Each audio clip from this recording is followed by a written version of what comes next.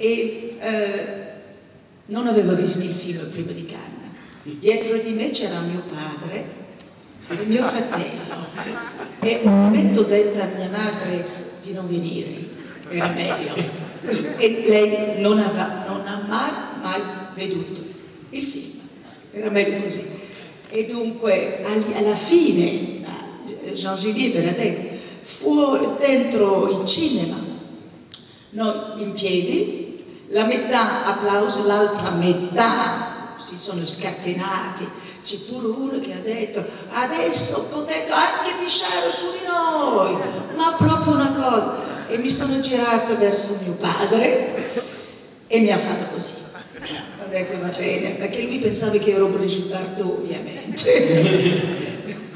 e poi all'uscita, scendendo questo vecchio palazzo, c'è una signora, si vede pure nei, certi film televisivi o così, c'è una signora che mi ha presa, mi ha fatto così e mi ha detto ehm, sono disperato di essere francese.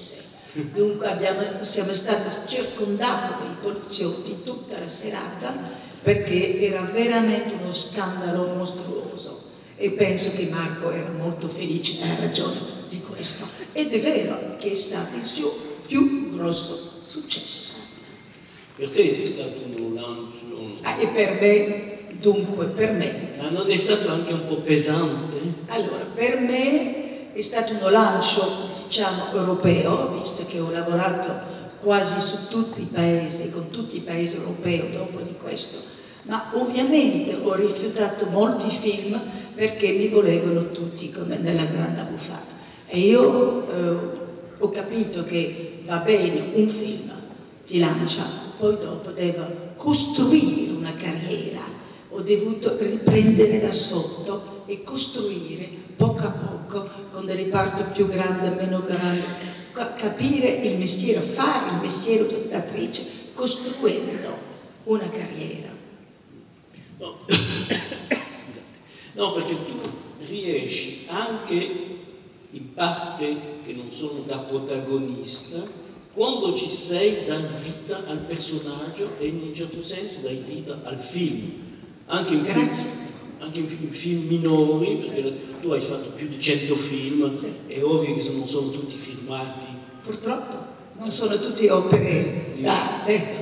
No, ho avuto la fortuna perché sono stata un'attrice molto fortunata dagli anni 70 al 90.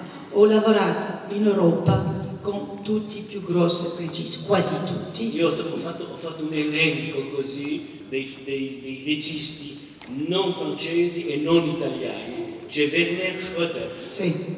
c'è Fassbinder, mm-hmm. Despair, Volker Schlendorf. Parle del Tambour, sì. uh, Wagner, il chef d'orchestra, maestro di musica, uh, Peter Greenaway, oui. Samuel Fuller, oui. Tony Richardson. Tony Richardson. Ah. Un portoghese non molto noto, ma un bravo regista, Fernando Lopes, Fernando Lopes. Che era un ottimo regista. Sì.